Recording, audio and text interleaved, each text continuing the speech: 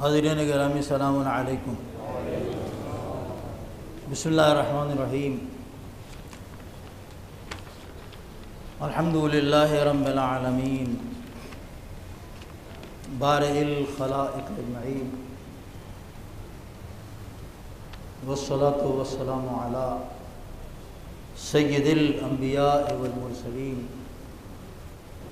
वल तय्यबीन ताहिरीन मासूमीन अम्मा बाद सिलसिले गुफ्तु आपके अजान अलिया में होगा?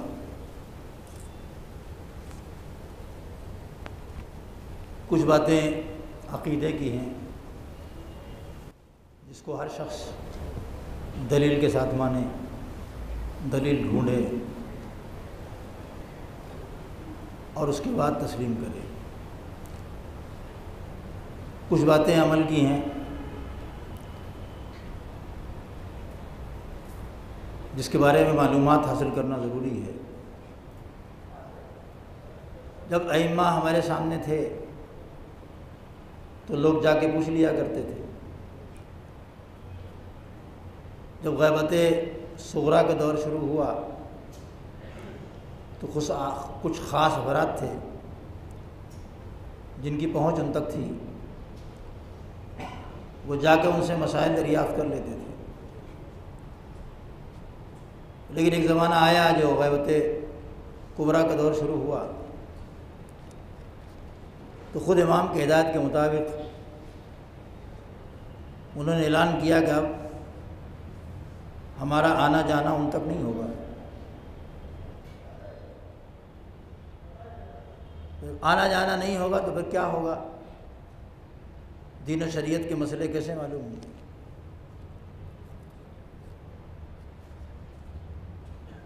जब हमको इजमाली तौर पर यह बात मालूम है,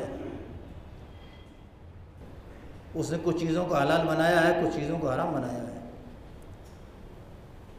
तो ये हराम और हलाल मालूम कैसे होंगे?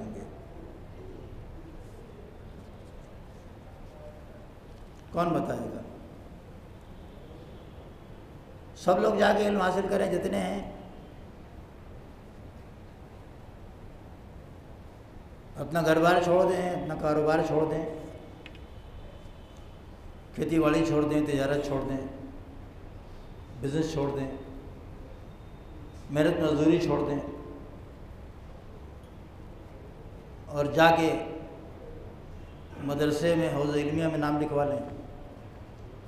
सब लोग और कुरान हदीस की तिलावत करें और पढ़ें और उसका इल्म हासिल करें। एक सूरत तो ये है।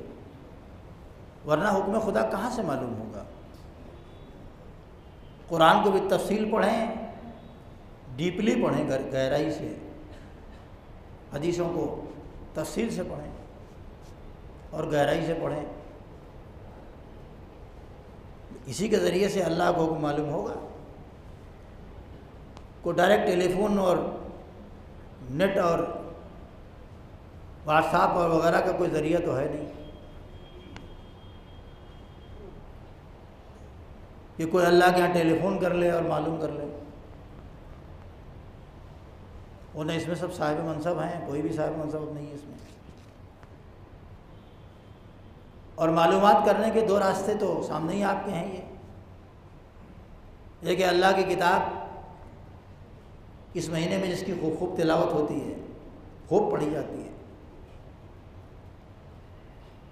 और एक पैगंबर की सीरत और उनका किरदार और उनके अकवाल और उनके अफ़ाल और उनकी बातें। तो लोग सारा काम छोड़ दें अपना, जाएँ पढ़ें। ये शक्ल तो हो सकती है, लेकिन क्या ये मुमकिन है? हम किसी कहें साहब छोड़िए अपना कारोबार, कहाँ है आप? कमल साहब सुबह से शाम तक फेरी करते हैं हम बच्चों के पालने का ज़रिया यही है मेरे पास। मैं छोड़ के चला जाऊँगा तो बच्चे मेरे भूखे मर जाएँगे। तो उनको भी पालना ज़रूरी है। आप कह रहे हैं, दीन हासिल करो जाके डीपली गहराई में कुरान पढ़ो, हदीस पढ़ो। मदरसे में, हौज़ इल्मिया में, कुम में, नजफ़ में और दूसरी जगहों पर, दूसरे मकाम पर जाके नाम लिखवाओ। पढ़ो। तो हम दिन भर फेरी करें। सर के ऊपर लाद के कपड़े का गट्ठर कि जाके वहाँ नाम लिखवाएँ। उन्होंने कहा अच्छा वहाँ नहीं जा सकते तो हम ही खोले देते हैं इमामी हाल में। वैसे इरादा नहीं, कोई सिर्फ़ मिसाल है ये। लोग डरिएगा नहीं, सलवात पढ़े मोहम्मद वाले क्या कोई नया काम यहाँ शुरू करने जा रहे हैं, ऐसा कुछ भी नहीं है। जैसे है, वैसे ही रहेगा इन इसकी तकदीर खुदा बदले तो बदले, हम आप क्या बदलेंगे? तो मिसाल है कि हम ही खोले देते हैं। कौन सा खोल तो देंगे, मगर क्या करें? हमने बंगाल में एक मतलब कैंप लगाया था नौजवानों के लिए, बंगाल में। तो नौजवानों को ढूँढने गए कि भाई वो आए छुट्टियों के ज़माने में और कैंप में कुछ दीनी तालीम हासिल कर ली थोड़ी बहुत। तो नौजवान आए। बंगाली बंगाली टीचर रखा, बंगाली खाना पकवाया, ये सब हुआ वहाँ। ये कई साल पहले की बात है पंद्रह बीस साल पहले की बात है। तो कहा, भाई, लड़के कम आए, क्या बात है? कमल साहब, ये इस वक्त कटाई का ज़माना है। तो आपने बुलाया है, या तो उनको पैसे भी दीजिए, तब पढ़ेंगे वो। एक महीने, पंद्रह दिन, बीस दिन, दस दिन का कैंप तो आप तैयार तो हो जाएँगे कमल साहब दिन भर हम कब फेरी करते हैं? दिन भर हम रक्षा खींचते हैं। दिन भर हम ऑफ़िस में काम कर, काम करते हैं। खोल तो दें आप। ठीक है, हम कुम नहीं जाएँगे नजफ नहीं जाएँगे, यहीं पढ़ लेंगे आपसे, या आप जैसे लोगों से। लेकिन ये कौन करेगा? हमारे बच्चों को पेट कौन पालेगा? ये प्रॉब्लम है कि नहीं है? तो दिन ना हासिल करे वो। वो क्या करेंगे? कभी इस मसले पर गौर किया आपने? इश्तहाद ना करें, तकलीफ़ मत करें, कुछ मत करें मौजूद तो यही चल रहा है ना? इश्तहाद तो तकलीफ़ मौजूद चल रहा, और टेढ़ा मौजू है। उस प्यास और भूख के आलम में जब इस तलब इलम की भूख गालिब हो जाएगी, तभी हम कह पाएँगे और सुना पाएँगे। वरना ये दो जुमे आपके लिए भी सख्त है और मेरे लिए भी सख्त है। लेकिन ये सिलसिला भी चलेगा इन जो हज़रत बराबर शरीक होते हैं, वो शरीक होंगे। रमज़ान के बाद भी। लेकिन आज तो बस इतना कि कुरान से पूछें कि अल्लाह के किताब तू ही बता तेरे अंदर कोई हल है? तेरा तो दावा यह है कि ला रदबिन वाला यावसिन अल्लाह की किताब मुबीन। दुनिया के हर खुश को तर चीज़ मौजूद है। ये गरीब कहाँ जाएँ? ये मज़दूर कहाँ जाएँ? ये काम करने वाले कहाँ जाएँ? ये डॉक्टर कहाँ जाएँ? ये इंजीनियर कहाँ जाएँ? कोई अपने हॉस्पिटल में बिज़ी है? कोई अपने जॉब में बिज़ी है? कोई अपने काम में बिज़ी है? ये क्या करें? कुरान आवाज़ देता है, वहाँ कानल मिनूना ले फ़रूक का फ़तन सूरत तौबा, आयत नंबर एक सौ बाईस, देखिएगा फिर जाके घर में। ये तो मुमकिन नहीं है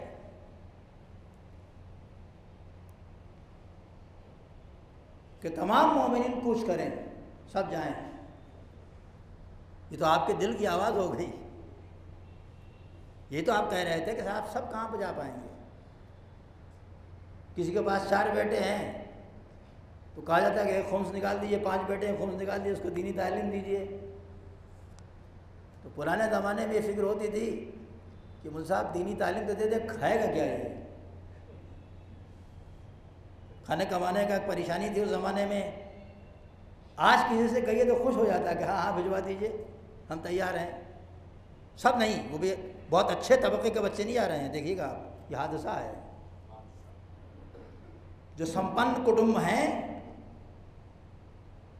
खाते कमाते अच्छे लोग, उनके बच्चे दीनी तालीम हासिल करने नहीं जा रहे हैं। किसी आई के बेटा, किसी आई के बेटा किसी जमींदार अच्छे जमींदार का बेटा किसी पैसे वाले का बेटा। वो नहीं जा रहा है। बहुत कम। उनकी त, उनकी लिस्ट मेरे सामने है क्योंकि मैं इसी लाइन में हूँ। जैसे ऐसे लोगों की लिस्ट भी मेरे सामने है लेकिन बहुत कम। तो सब तो जाएँगे नहीं। कुरान भी कहता है कि माँ कानल मोमिन फ़रूक का फ़तन मोमिन के लिए मुनासिब नहीं मुमकिन भी नहीं है कि सब के सब चले जाएँ। फ़लौला नफ़रा मिनकुल्ल फ़िरक़तिन मिनहुम ताफ़तुन तो हर एक गर्भ में से एक जमानत, एक जमात निकले हर ग्रुप में से। हर ग्रुप में से एक जमात, कुछ लोग निकले ले तफ़क़ू फिद्दीन ताकि वो दीन में गहराई से इल्म हासिल करें एक है लफ्ज़ इल्म, एक है लफ्ज़ फ़िका एक है लफ्ज़ फ़हम। इल्म सब जानते हैं। तर्जुमा करने की ज़रूरत नहीं है जानना। नॉलेज, ज्ञान, उसमें एक और चीज़ जोड़ जाती है कभी कभी ज्ञान में, विज्ञान, इसका तर्जुमा करने की ज़रूरत नहीं हमारे मजमे के सामने। लेकिन जब फ़िक कहेंगे हम फ़हम कहेंगे हम तो उसमें थोड़ा तर्जुमा करने की और थोड़ा तशरी करने की ज़रूरत पड़ जाएगी। लेते फ़क्हू यहाँ तफ़क्ो है फ़िक से है। फ़िक के माने भी फ़हम के हैं। और फ़हम के माने भी फ़हम के हैं। अरबी ज़बान में इन दोनों के माने समझ के हैं। लेकिन एक फ़र्क के साथ, फ़हम कहते हैं समझने को और फिर कहते हैं किसी मसले को गहराई से समझने को। डीपली स्टडी को, सलवात पढ़े मोहम्मद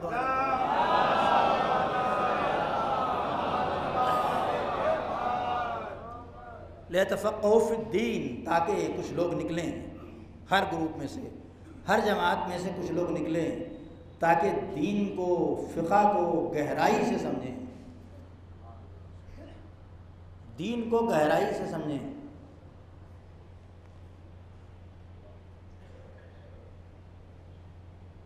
वलियंजरु कौम हम इज़ा रजाऊ और जब वो पलट के आए जब वो पलट के आए तो अपनी कौम को डराएँ कि देखो मैं ये पढ़ के आया हूँ, ऐसे है ऐसे है ऐसे है ऐसे है ऐसे है। है ना? इससे एक बात तो समझ में आई कि पढ़ के आने वाला डरपोक मुल्ला ना हो, डरने वाला मौलवी ना हो, जो खुद डरेगा और दूसरे को क्या डराएगा? इससे तो इतना समझ में आया ना? आने वाला दीन में गहराई से गौर व फ़िक्र करें। तो हर आदमी का निकलना तो मुमकिन है नहीं। हर आदमी तो जा नहीं पाएगा।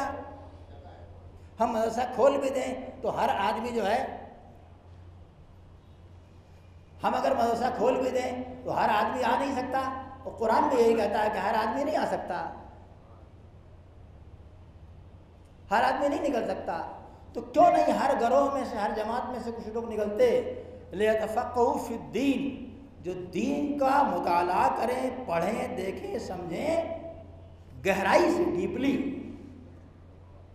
एक स्टडी ऊपर ऊपर वाली है।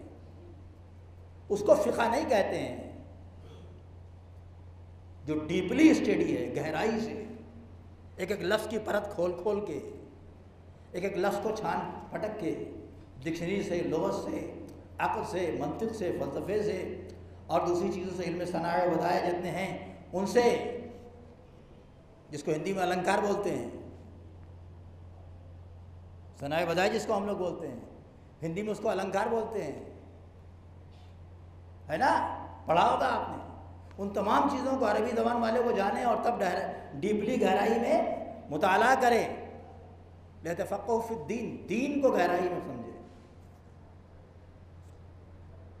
और जब पलट के आए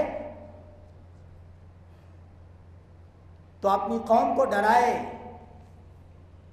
बताए, समझाए। डराने का मतलब नहीं कि लाठी लेकर खड़ा हो जाए। यह मतलब नहीं है। देखिए, कई तरह के स्टूडेंट होते हैं, समझने वाले और पढ़ने वाले। कुछ तो शौक़ से पढ़ लेते हैं, उनके लिए शौक़ इस्तेमाल किया जाता है। कुछ लोग थोड़ा डराने में पढ़ लेते हैं। उनके लिए मामूली डर काफ़ी है। कुछ लोग डंडे के आदि होते हैं, इसमें कोई शक नहीं है। फिर जैसा मौका होगा, उसकी जब ज़रूरत होगी। लेकिन खुलासा ये कि डराए कि भाई हम ये पढ़ के आए हैं, अल्लाह रसूल ने ये कहा है।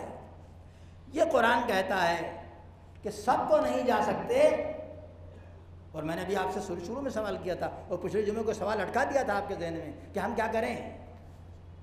क्या सब चले जाएँ? जवाब इसका यही आ रहा है कि नहीं, सब जा नहीं सकते। वैसे हम अपने बच्चों को पेट कैसे पालेंगे? हम अपना दफ्तर कैसे छोड़ दें? हम अपना पोस्ट कैसे छोड़ दें? तो छोड़ेंगे भी नहीं।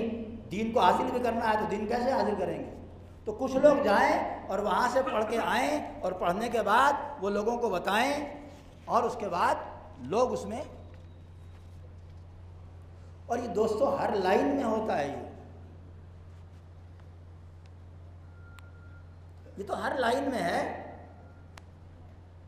और अब तो हर लाइन में इतनी लाइनें हो गई हैं।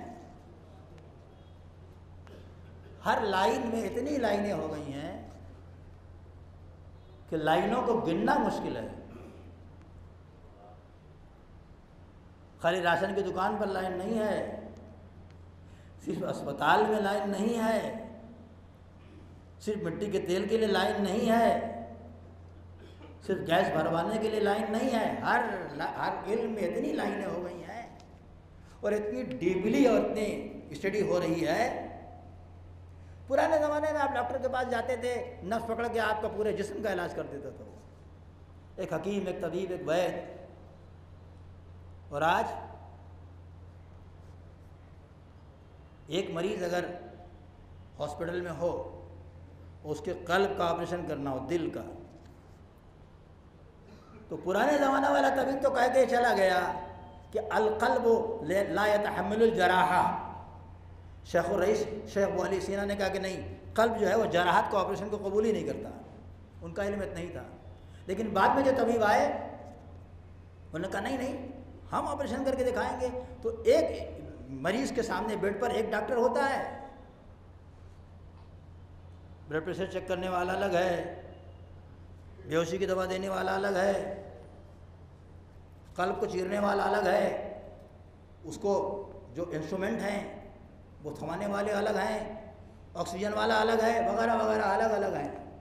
ये तो एक दिल की हालत हुई। है? ऐसे पूरे जिस्म के लिए इतनी लाइनें हैं, इतने डिपार्टमेंट हैं कि आदमी खाली एम्स में अगर जाए तो दौड़ते दौड़ते परेशान हो जाएगा। और अभी कितनी लाइनें निकल जाएँगी? इल्म कितना तरक्की करेगा कुछ पता नहीं। आँख देखने में ज़रा सी है, इसमें कितनी परतें हैं। दिमाग देखने में छोटा सा लुजुला सा गोश्त का टुकड़ा है, मगर उसमें कितनी गहराई है। हलक इसका डॉक्टर अलग आँखों का डॉक्टर अलग, नाक का डॉक्टर अलग, वो दिन दूर नहीं है कि बाई आँख का आँख का डॉक्टर अलग होगा और दाई आँख का डॉक्टर अलग होगा। आपके बाई आँख में तकलीफ़ है फला किए जाइए। दाहिने में तकलीफ़ है तो फला किए जाइए। इल्म बढ़ रहा है कि घट रहा है? इल्म बढ़ रहा है। जब इल्म बढ़ रहा है तो दीन से क्यों इतनी गफलत है? एक मुश्किल यही होती है कि समाज के सबसे गरीब तबके से बच्चा उठा के भेजा जाता है पढ़ने के लिए, दीनी हासिल तालीम हासिल करने के लिए। आमतौर पर देखा जाता है कि कमज़ोर हो, पढ़ने में ठीक ना हो, इसका नंबर अच्छा ना होता हो, उसको भेजो। बहुत शार्प माइंडेड 99 लाने वाले बच्चे 100 लाने वाले बच्चे, बहुत कम भेजे जाते हैं। लेकिन ये तो अल्लाह की इनायत है कि यतीम को भी भेजा जाता है पढ़ने के लिए तो उसको अल्लाह खुमनी बना देता है। सलवत पढ़ दे मोहम्मद वाले गुफ्तु अगले जुमे में आएगी। ये तो उसकी इनायत है। चुन के अच्छे सिलेक्टेड बच्चे हम नहीं भेजते। क्योंकि हम इस लाइन में हैं, कम से कम बीस पच्चीस साल से बाबा इसलिए दर्द दिल के तौर पर अर्ज़ कर दिया हमने आपको, आपके सामने। और मेडिकल में ज़रा जाके देखिए कैसे बच्चे लिए जाते हैं। वो साठ लाख हो पैंसठ लाख हो पचास लाख हो नब्बे लाख वाले अलग हैं। लेकिन इसमें ये हमारा तजुर्बा बता रहे हैं, ये पढ़ नहीं पा रहा फेल हो रहा है, लिहाजा इसको भेज दो, कौम के हवाले करो। अब ये और बात है कि खुदावंद आलम की इनायत उस पर हो जाती है। तो हर लाइन में इंशाब है, तरक्की है लाइनें बहुत ज़्यादा हैं। अब एक आदमी बीमार पड़ जाए तो क्या करेगा? है डॉक्टर नहीं है वो। वो वो वाला डॉक्टर पीएचडी वाला। प्रोफेसर है। उसकी हो गई तबीयत खराब। हिस्ट्री का प्रोफेसर है। तो जोग्राफिया वाले के पास जाएगा वो। कहाँ जाएगा भाई? जो बदन का डॉक्टर है, उसके पास जाएगा। जाएगा नहीं जाएगा? आप कह सकते हैं कि नहीं नहीं, कोई ज़रूरत नहीं है भाई, इतनी बड़ी डिस्पेंसरी बनी हुई है, इतनी बड़ी बड़ी, सब दवाएँ रखी हैं। डिस्पेंसरी में, और हमको मालूम है कि दवा कौन सी क्या होती है, कुछ दवाएँ जान गए हैं लोग। इसी को हमारे उर्दू में कहते हैं नीम हकीम, खतरे जहाँ उर्दू में हमारे क्या कहते हैं? नीम हकीम, खतरे जा। और आधा और नहीं पढ़ूँगा तो लोगों को शिकवा होगा कि मुझसे अपना वाला तो बताया ही नहीं आपने। वो नीम मुल्ला वो भी तो है। नीम हकीम अगर खतरे जा है तो नीम मुल्ला खतरे ईमा है। तो ये दो चार दवाएँ जान गया, क्या इसको हक है कि डिस्पेंसरी में जाए, चुन के लेके आए, दवा खा ले? और बीमार पड़ेगा। इसको बहरहाल एक्सपर्ट के पास जाना पड़ेगा, वरना आँख अपनी खराब करवा लेगा। दिलो दिमाग उसका खराब हो जाएँगे। तबीयत उसकी और ख़राब हो जाएगी। इसको ज़रूरी है कि किसी एक्सपर्ट के पास जाए, जिसने उस इल्म को गहराई से हासिल किया है। वही इसके मसले का हल पेश करेगा, वही इलाज करेगा और अगर उसको नहीं आएगा तो अपने से बड़े डॉक्टर को रिफ़र करेगा। इल्मी दुनिया में क्या इसके सिवा और कोई रास्ता है? या तो आदमी खुद अपना इलाज कर ले, या आदमी डॉक्टर के पास जाए। जो जानकार हो बताए, या ये खुद जानकार हो? कभी कभी ऐसा होता है कि डॉक्टर होता है, मगर खुद उसको अपना मरज समझ में नहीं आता। फिर अपने से बड़े की तरफ़ रुजू करना पड़ता है उसको। अपने से बड़े की तरफ़ उसको जाना पड़ता है। फारसी में एक मिसरा है कि चुन कज़ा आयत तबीब अबला शवत। चुन कज़ा आयत तबीब अबला शवत। कल फुली हकीम साहब मर गए। कहे हाँ मर गए। कल वो तो कितने मर्दों को बचा लिया उन्होंने। खुद मर गए। कहाँ मर गए वो? अरे, वो तो कितनों को इलाज करते थे। मैं ऐसे ऐसे मरीज़ उनके पास ले गया। इस सिचर पर ले गया। मगर सब उन्होंने एक दो खुराक, दवा खिलाई और हुआ क्या भाई? ये मिसरा उसके लिए है। जब कज़ा आती है तो तभी भी पागल हो जाता है। उसको समझ में नहीं आता मैं क्या खाऊं। तो कभी कभी उसको भी दूसरे के पास जाना पड़ता है। है ना? तो रास्ता क्या निकला? आपके ख्याल से। अगर कोई आदमी किसी इल्म को ना जानता हो, खुद ना जानता हो तो क्या करेगा? खुद जानता है तो उस पर अमल करेगा। अगर खुद नहीं जानता है तो किसी एक्सपर्ट को बुलाएगा। हम थोड़ा बहुत पढ़े थे, छत बना रहे थे, छत हो गई ख़राब। हमने कहा साहब, वो चीफ एग्जीक्यूटिव इंजीनियर से रिटायर्ड हुए हैं, शमीम भाई बहुत दिनों के बाद आए हैं। ये इंजीनियर हैं। हमने बोला कि दिखाया कि भाई आप बड़े इंजीनियर हैं, मैं तो छोटा मोटा जानता था, छप्पर ऊपर डालता था, ये मेरी छत खराब हो गई। तो मुझे साहब, आपने सब खराब कर दिया ये तो। मेरा इलम कम था। उन्होंने कहा, इसमें देखिए, ये कमी हो गई, ये कमी हो गई, ये कमी हो गई, ये कमी हो गई। तो हमारी छत क्यों खराब हुई? हमारी कम इल्मी ने हमारी छत को ख़राब किया। जब हमारे पास इल्म नहीं है तो हम क्या करेंगे? हर हाल में उसके पास जाएँगे जो हमारी छत को टपकने से बचा ले। यही तो करेंगे ना भाई। और अकली रास्ता क्या है इसके सिवा? अगर कोई अकली रास्ता हो तो मुझे बताइएगा, ये गुफ्तु खुतबा खाली नहीं है। एक तरह का डिस्कशन है, जो अभी नहीं कर सकते, बाद में कर सकते आप, क्योंकि खुतबे में बोलने की परमिशन नहीं है दूसरे को। इसके सिवा क्या करेगा? जिसके पास इल्म है, वो अपने इल्म पर अमल करेगा। जिसके पास इल्म नहीं है, बहरहाल वो ऐसे ऐसे के पास जाएगा जो बिगड़ी बना दे, जो तकदीर संवार दे। रास्ता बहुत कठिन है, यहाँ से वहाँ तक जाना है। रास्ते में लाखों लुटेरे डाकू और चोर और बदमाश बैठे हुए हैं। उनसे बचने के क्या रास्ता है? एक्सपर्ट का दामन थाम लो। हर मंजिल में तुम्हारी रहनुमाई और दस्तगिरी करेगा। सलवात मोहम्मद वाले।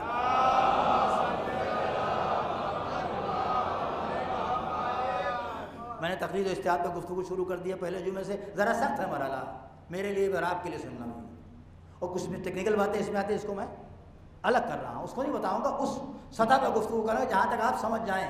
तो इसका क्या रास्ता है? रास्ता ये कि खुद अमल करें, जो पढ़ा है। दूसरा रास्ता के पूछे, जो नहीं जानता है। तीसरा रास्ता है कि संयम से रहे, एहतियात करे। इसी को टेक्निकल वर्ड में कहते हैं कि इश्तहाद करे या तकलीद करे या एहतियात करे। खुद अगर पढ़ा लिखा है, जानता है तो जो जानता है उस पर अमल करे। है ना? बाद मौका ऐसा भी हो सकता है कि जानता बहुत कुछ है।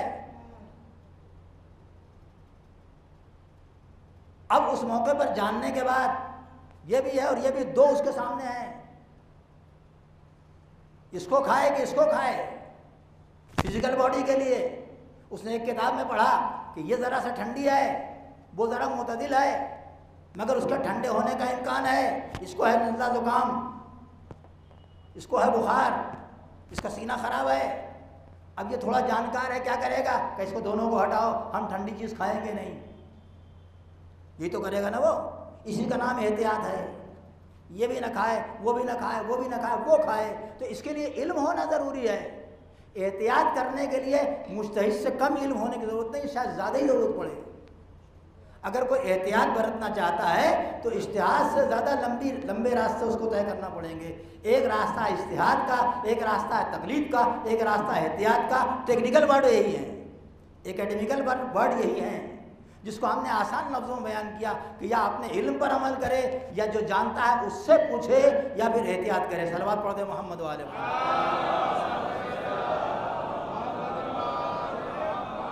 जाने वाले गैबत के पर्दे में चले गए और कह के गए कि जब कोई ऐसा हादसा पेश आए, अमल पामल हवादसुल वाक़ तो फर्जू फ़ी है एला रवात अहादी से ना जब कोई वाक़ तुम्हारे साथ सामने पेश आ जाए, कोई नई बात तुम्हारे सामने आए तो मेरी हदीसों को जो रवायत करते हैं, जो बयान करते हैं, उनकी तरफ़ पेश करो। उनसे मालूम करो कि मैंने क्या कहा है। इसकी बहुत सारी मिसालें अभी आएँगी, ये तो कई महीने टॉपिक चलेगा।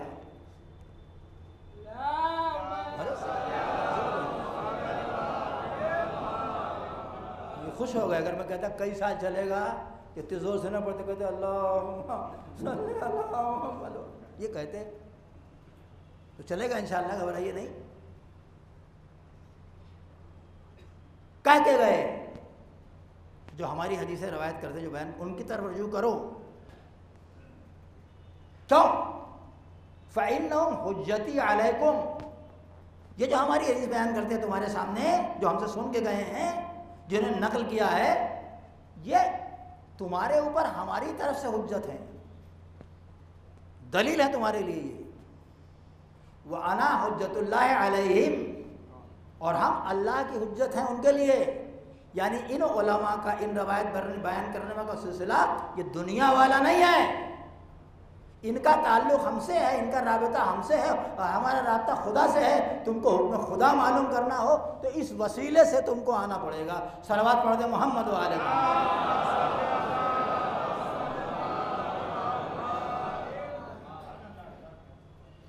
है या नहीं है अब ये रास्ता है कि रिवायत लें, खुद छान फटक करें, खुद डीपली स्टडी करें, और सब जाने पर तैयार नहीं है।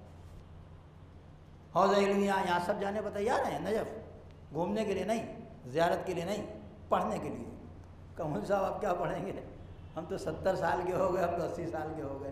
कल की भी बात याद नहीं रहती लंबी लंबी हदीसें कहाँ याद होंगी? सब जाने पर तैयार नहीं तो क्या होगा? मालूम करना पड़ेगा। जिसको मालूम है उससे सब डीपली स्टडी के लिए तैयार नहीं है। ना हर एक का माइंड इतना अच्छा है। हर एक का माइंड एक सा नहीं, हर एक का दिमाग एक सा नहीं, हर एक की ताकत एक सा नहीं। इसी को कुरान ने कहा है कि क्यों नहीं कुछ लोग निकलते? यानी सिलेक्टेड पीपल्स मुंतब रोज़गार लोग उसी को हम अपनी ज़बान में मुंतब रोज़गार रोज लोगों को मर्जा कहते हैं मुश्तहिद कहते हैं, आलम कहते हैं। उसी सेलेक्टेड में से।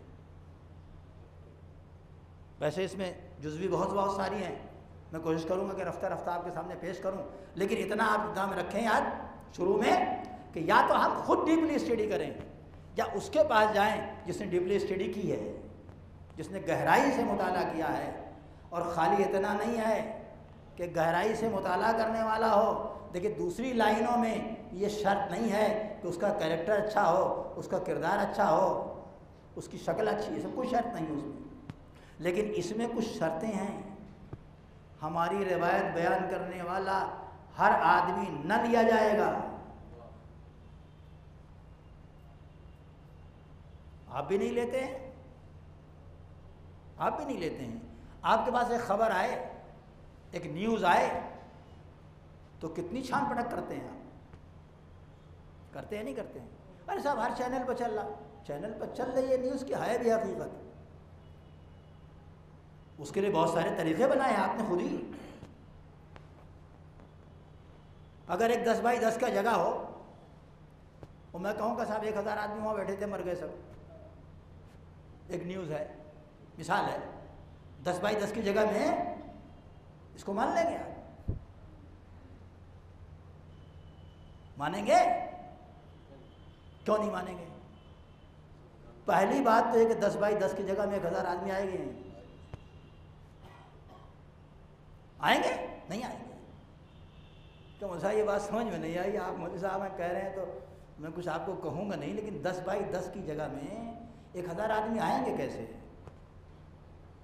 यहीं से ख़त्म हो गई बात। है? हमने कहा अच्छा थोड़ी जगह बड़ी थी।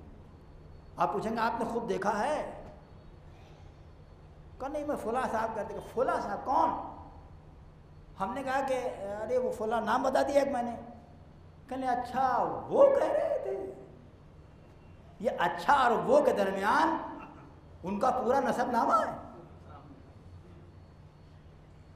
अच्छा वो कह रहे थे।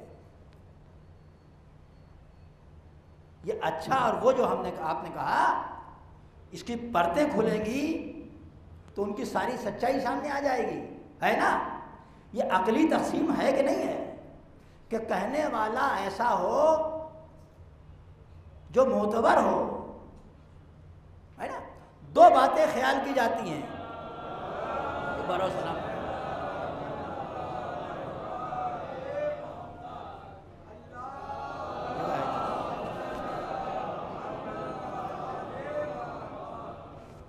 भरोसा बख्शीदा इजाज़त शुमा एक मरतबा सलवात पढ़े मोहम्मद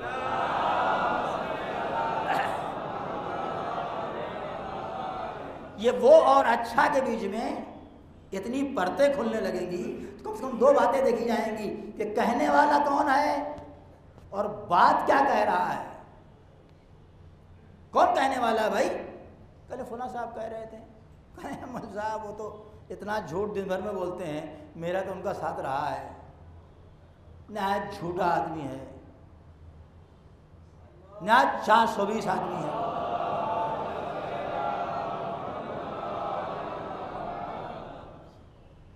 इसका मतलब यही बात कट गई। बोलने वाला झूठा है तो बात कट गई। बोलने वाला चार चार सौ बीस है तो बात कट गई। बोलने वाला फरेदी है तो बात कट गई। मैं इस्तेला इस्तेमाल नहीं कर रहा हूँ, मगर इशारा कर दूँ। ये जो बोलने वाला है, कौन बोल रहा है? इसको सनत कहते हैं। किस सनत से ये बात आई है? किस सनत से बात आई है इसको टेक्निकल वर्ड इसके लिए सनत है, है? और जो बात है बात कि क्या कह रहा है उसको इस्तेलाह में मतन कहते हैं। इश्तिहाद में सनत भी देखी जाती है मतन भी देखी जाती है। यानी कहने वाला कौन है और क्या कह रहा है? सलवात पढ़ मोहम्मद वाले मोहम्मद। एक हल्का सा इशारा। ये एक हल्का सा इशारा मैंने आपके सामने किया है। इन फिर मज़ीद आपके सामने आइंदा जुमे को और दूसरे जुमों में इसके बाद भी कई महीनों तक ये सिलसिला आपके सामने चलता रहेगा। खुदा आलम से दुआ है कि हमारा और आपका इल्म में इजाफ़ा करे। मोमिन के इस रोज़े को कबूल फरमाए, इस शिद्दत को जो है।